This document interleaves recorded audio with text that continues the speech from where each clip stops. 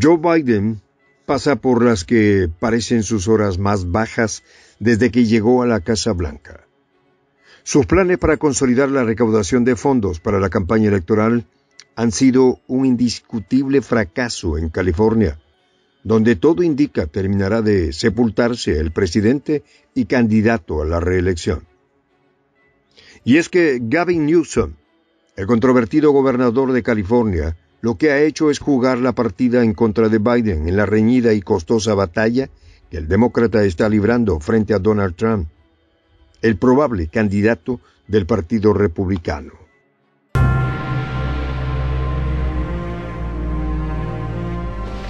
Voz de la Patria Grande. En el estado de California quedarán las cenizas de la imagen de Joe Biden también quedarán sus aspiraciones por volver a colgarse la banda presidencial de los Estados Unidos. Y el artífice de este fracaso rotundo será el gobernador Gavin Newsom, cuyo trabajo político no ha aportado nada positivo a la campaña del mandatario.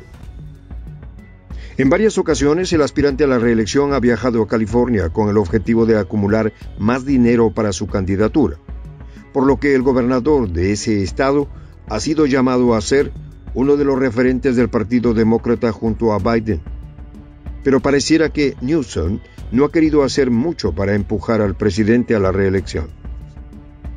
Aunque Gavin Newsom públicamente ha mostrado su respaldo absoluto a Joe Biden, todo indica que el gobernador está midiendo cuidadosamente sus pasos al combinar el apoyo a la reelección presidencial con su especial y particular interés y esfuerzo por brillar a nivel nacional. Ha sido un secreto a voces que el mandatario de California tiene sus propias aspiraciones políticas en Estados Unidos. Sin embargo, él se ha mostrado ante los medios como la mano amiga de Biden en California, sin dejar de un lado sus ansias personales por la política nacional. Thomas Warren experto en política y profesor de la Universidad de Boston, ha hecho referencia precisamente a la posible incursión de Newsom en el juego de la presidencia de Estados Unidos en un futuro cercano. Con una base demócrata diversa, ha demostrado que puede formar coaliciones amplias. Cumple todos los requisitos para ser el candidato de su partido. Es una apuesta inteligente que va a estar en la conversación en el futuro considera el especialista.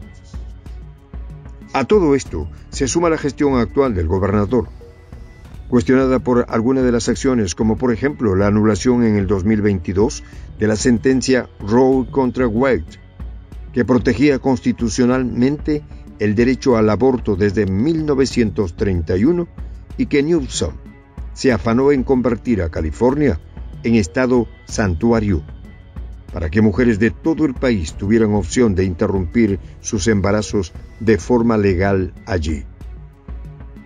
Además, California es el estado con mayor población migrante indocumentada, 1,9 millones de personas desde el 2021, según la Oficina de Aduanas y Protección Fronteriza, para los que ha legislado a favor de una estancia temporal protegida que les permita trabajar en ámbitos como la agricultura. Las controvertidas y polémicas decisiones de Gavin Newsom han generado sonados enfrentamientos con los gobernadores republicanos de Texas y de Florida, Greg Abbott y Ron DeSantis, respectivamente, que consideran que las políticas de su homólogo californiano atentan contra los valores tradicionales y ponen en peligro la economía y la seguridad de Estados Unidos. Estos desencuentros, así como su viaje en octubre pasado a Israel en el marco de la guerra de Palestina y justo antes de firmar un acuerdo de cooperación medioambiental entre California y China, han reforzado su proyección mediática, pero según algunos especialistas, han sido entendidos como un desafío al liderazgo de Biden en el partido. Para Dory Dragon, analista político senior de California, ser presidente es una tarea increíblemente dura. Kamala Harris y Gavin Newsom son parte del establishment del Partido Demócrata en San Francisco, Así que tienen una idea clara de lo que les supondría postularse. No sé cómo va a cuadrarlo con sus aspiraciones políticas, precisó el investigador. Newsom, al igual que Harris, suena a futuro como opción para una hipotética nominación demócrata en el 2028. Pero aunque su deber político hasta entonces debería ser seguir enfocado en su gestión al frente de California y mostrar su apoyo irrestricto a Biden, sus acciones apuntan a dañar la imagen del actual presidente. En cifras concretas y para dejar en evidencia el fracaso de la gestión del gobernador de California, actualmente más votantes desaprueban sus políticas. Un 50% según un estudio reciente de la Universidad de Berkeley, mientras que quienes la aprueban apenas alcanzan el 40%. La galopante inflación y el hecho de no haber podido hacer nada por frenar o al menos disminuir el alto índice de personas sin hogar que cabe destacar es precisamente en California, donde está la tasa más alta de todo Estados Unidos de este flagelo, han destruido la imagen de Biden en ese estado, cuya importancia desde el punto de vista electoral es vital para su reelección. De hecho, un grupo de activistas conservadores llamado Rescue California acaba de promover un nuevo intento para que Newsom tenga que enfrentarse a la posible revocación de su cargo, alegando, entre otras causas, que solo se está centrando en sus ambiciones fuera de California. Así, las cosas, el gobernador de California, Gavin Newsom, América de ninguna manera ha ayudado a mejorar la imagen de Joe Biden en su estado en el marco de la carrera por repetir en el poder de la Casa Blanca. Inclusive en el tema de la recaudación, la tendencia está cambiando y todo gira en contra de Biden y los demócratas. En el 2022, Gavin Newsom, gobernador de California, dijo que no tenía ningún interés en la carrera por la presidencia de Estados Unidos para el 2024. Ni siquiera está en mi radar. Tengo un interés por debajo de cero, fue su respuesta. Han pasado dos años de ese episodio y el mandatario, a pesar de negarlo, parece estar tentado por la sucesión probablemente para el 2028. Al frente del estado más poblado del país con 40 millones de personas, el político demócrata se ha mostrado dispuesto a contrastar con la narrativa del Partido Republicano. Pero más allá de la simpatía que requiere un candidato para que su propuesta cale en el electorado, también necesita un equipo que lo acompañe en el trabajo y más al tratarse de un país con tantas complejidades como Estados Unidos. Pero eso no lo ha encontrado Joe Biden en California. El gobernador demócrata de California lleva meses siendo protagonista de especulaciones que sugieren una posible candidatura presidencial. Con las elecciones de Estados Unidos a la vista, la vulnerabilidad de Joe Biden en las encuestas ha alimentado aún más los rumores. Y aunque Gavin Newsom lo niega en público y se muestra como un gran apoyo para Biden, sus maniobras políticas le están ayudando a construir un perfil nacional que cumple con los requisitos de un líder con ambiciones presidenciales.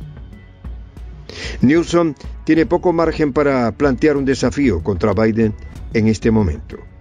Sin embargo, algunos analistas insinúan que el gobernador está llevando a cabo una campaña en la sombra en caso de que Biden se retire por sorpresa o sufra alguna complicación de salud.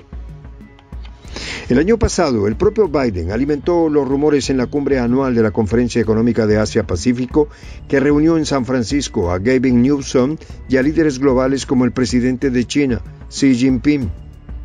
Quiero hablar sobre el gobernador Newsom. Quiero darle las gracias. Ha sido un gobernador excepcional. De hecho, podría hacer cualquier cosa que quisiera. Podría conseguir el trabajo que estoy buscando, detalló Biden. Cualquier candidato a unas elecciones presidenciales en Estados Unidos sabe que debe sentar unos cimientos sobre los cuales luego pueda construir una campaña. Todo indica que Gavin Newsom viene trabajando en eso. Pero dentro de la tarea, que está cumpliendo en nada ha ayudado a consolidar el liderazgo de Joe Biden en California. Por el contrario, el trabajo tiene un matiz inverso. Soy el J, Juan José del Castillo, director del canal Prensa Alternativa. Si quieres ser parte de la comunidad de la Patria Grande, suscríbete a nuestro canal. Si es que quieres que te lleguen las notificaciones cada vez que subimos un video, activa la campanita. Si quieres apoyar a nuestro canal económicamente, puedes hacerlo a través de PayPal. El enlace está en la descripción del video. A nombre del equipo de prensa alternativa, me despido con esta expresión en el quechua milenario, Tupananchis Kama, cuya traducción es hasta volvernos a encontrar.